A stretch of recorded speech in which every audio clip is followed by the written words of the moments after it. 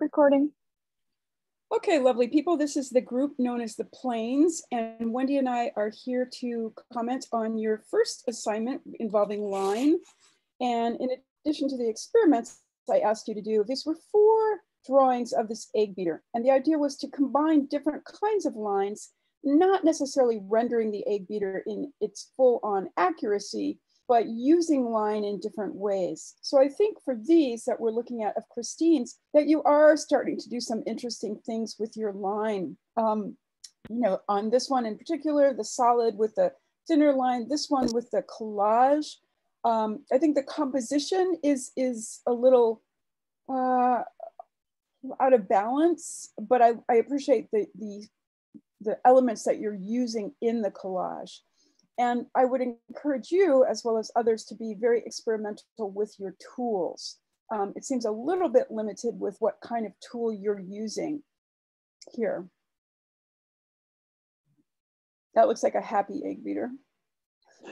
and the first one, where I asked, asked you all to just do a, a, a continuous line on the very first one, I thought that one had a great um, organic quality to it, very free. I thought this was highly successful.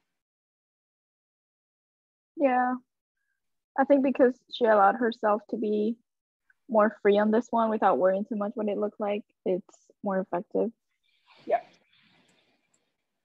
Okay, so that is Christine. And the second person we will look at is Jennifer uh, Harris.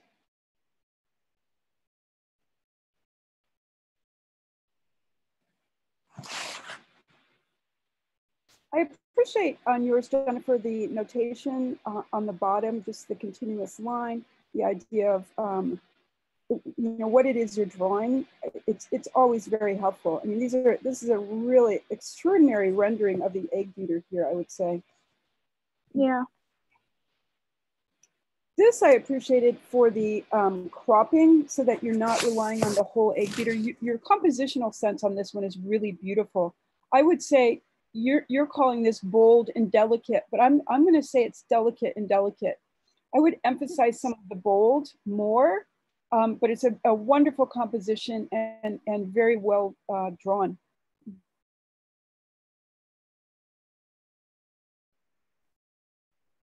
And this is using the collage pieces.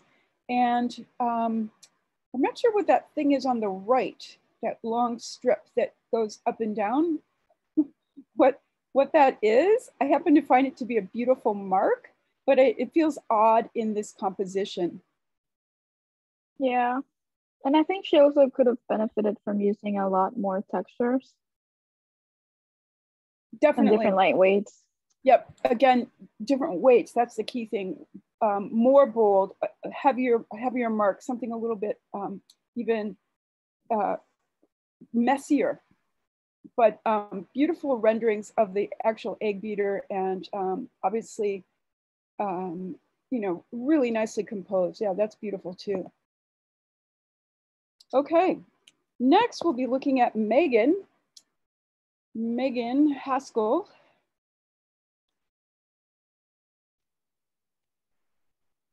So your documentation is a little dark and um, kind of taking away from the quality of these. Oh, actually, I turned up my light on my computer and that helped a little bit. But um, uh, yeah, so I think more so it was my computer.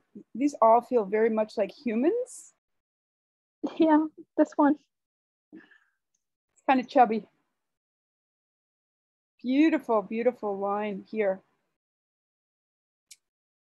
Yeah, yeah so this, these. This is interesting. Oh, yeah, I was just gonna say the the dots are interesting. We haven't seen that so far, really.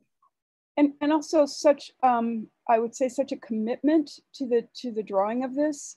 It feels very um, thoughtfully done. And I think it's a lovely combination of the dots and the little squares. And it's a nice contrast to something like this. So it does feel like you're using the line in um, different ways. And this is just such a simple gestural drawing. This too, the time commitment is um, very evident. Nice perspective. Yeah, very nice. And this one, um, this one I think feels wildly different. So I, I can't wait to look at your, um, the samples that you did just playing around with line because I love seeing some of these that we didn't see in um, the three previous, you know, just the way you're drawing different types of line um, in that collage, I think is really great.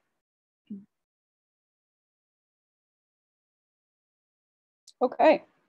And um, last but not least, in the group of the planes, we have Alex. Alex is right up top.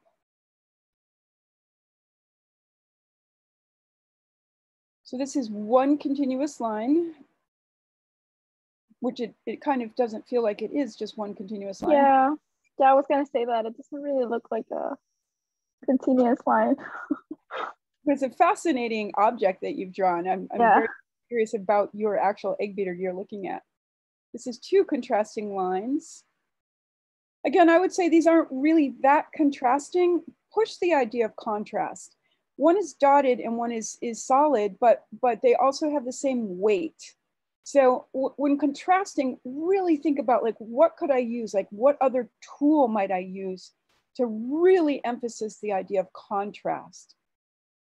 Yeah, I wouldn't even argue that this is essentially the same line. It's just one is dashed and the other one isn't. Yeah. Whereas this one, now we're feeling um, a, a, much stronger contrast. Um, I would say just also be thoughtful of your composition. You don't have to attach that handle literally where it's attached in reality. You know, put that in the composition and, and don't be afraid to abstract because it feels weird just hanging outside of that frame. Same with this one. I would say don't um, don't feel the need to have that, that stuff all go off the, the picture plane. And once again, I'd love to see more types of line in here. If you're relying on two types.